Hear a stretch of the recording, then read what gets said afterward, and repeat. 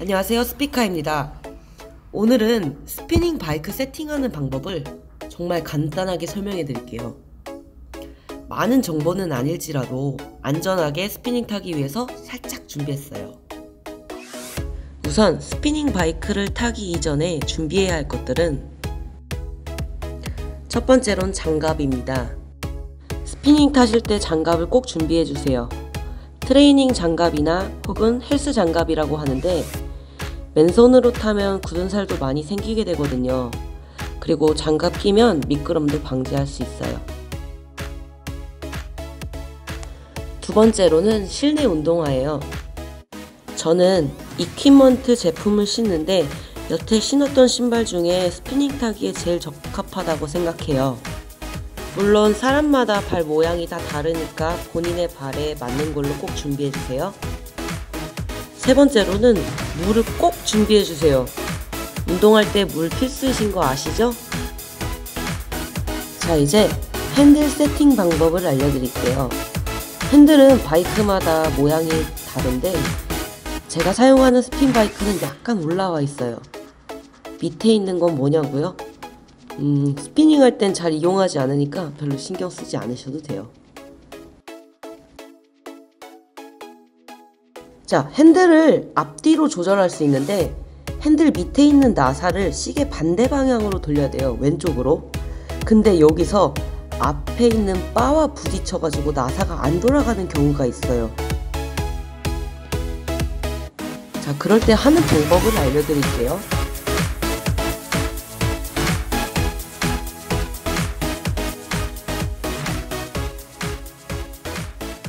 자, 그럴 땐 나사의 플라스틱 부분 있죠? 검정 색깔 부분.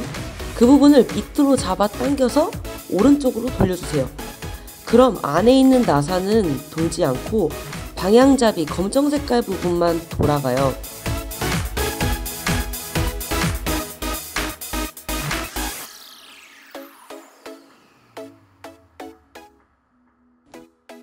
그렇게 같은 원리로 조여주신 다음에 반대로 조여주시면 돼요. 그런 다음에 다 조이고 조절이 완료되면 검정 색깔 부분이 정면을 볼 수 있도록 해주세요. 제가 좀 더 자세하게 설명해 드릴게요. 다시 한번 앞에 바 때문에 안 될 때 밑으로 잡아 당겨서 옆으로 돌리고 다시 돌리고 보이시죠? 그리고 조절하고 다시 조여야 되잖아요. 다시 조일 때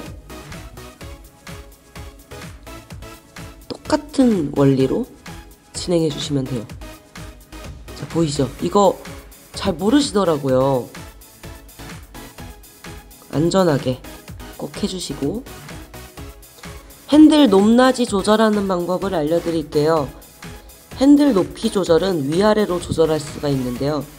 조절할 때 다칠 확률이 굉장히 높아요. 그래서 저는 이렇게 핸들을 팔로 받쳐서 나사를 돌리고 높이를 조절한 후에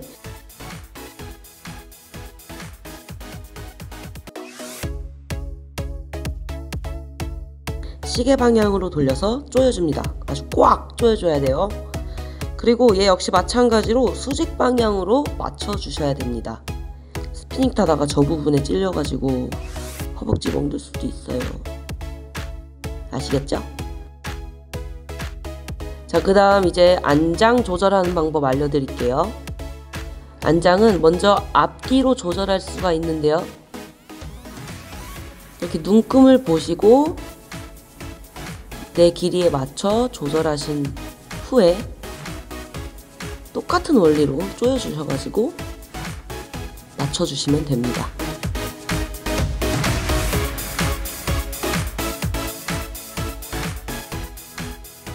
안장도 역시 위아래로 조절할 수가 있어요. 자, 여기서 안장도 조절하려고 하는데 이렇게 막힌다 싶으면은 뺐다가 돌리고 뺐다 돌리고 뺐다가 돌리고 그러면 쭉 조절할 수가 있습니다. 근데 보통 안장 높이 조절은 잘 안 해요. 스피닝은 앉아서 하는 운동이 아니기 때문에 저는 많이 높이지 않고요.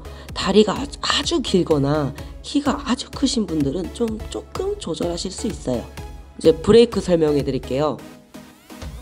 브레이크는 플러스랑 마이너스가 보이시죠? 플러스 쪽으로 돌리면은 오른쪽으로 돌리면 바퀴가 무거워지고 마이너스 쪽 왼쪽으로 돌리면 바퀴가 가벼워져요. 스피닝 수업 때는 가볍게 타는 게 제일 좋으니까 그냥 플러스로 돌아가 있는지만 꼭 확인해 주세요. 아, 저도 진짜 플러스로 해놓고 수업했다가 그것도 모르면서 아 오늘따라 내 몸은 왜 이래 오늘 내 컨디션은 왜 이러지? 뭐 이런 적도 있어요. 그러니까 꼭 확인해 주세요. 그렇다면 브레이크를 어떻게 사용하냐? 누르시면 됩니다. 브레이크가 웃고 있죠. 그냥 쭉 눌러주시면은 굴러가던 바퀴가 멈추게 돼 있어요. 자, 페달을 굴리면 바퀴가 돌아가고 브레이크를 누르면 바퀴가 멈추죠. 이 원리입니다. 쉽죠? 브레이크를 꼭 누르면서 앉으시는 습관을 가져주셨으면 좋겠습니다. 자, 이제 페달 설명해 드릴게요. 우선 페달을 발에 고정을 해야 되는데 매듭을 풀고 발을 앞으로 쭉 넣어주세요. 앞에 코가 살짝 나오게 조절하시고 쭉 고정하셔서 발 안 빠지게 하시고 밑에 있는 구멍에 매듭의 끈을 고정합니다. 자, 반대도 마찬가지로 발 고정 제대로 쭉 하셔서 꼭 제대로 끼워주세요.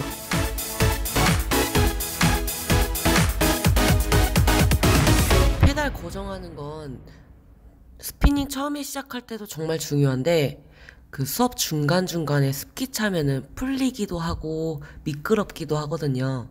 중간중간에 꼭 확인하시면서 한 곡 들어가기 이전에 한 번씩 채워주는 습관을 꼭 가져주세요. 안전이 제일이에요, 진짜. 최고! 좋아요와 구독 버튼 꼭 눌러주세요.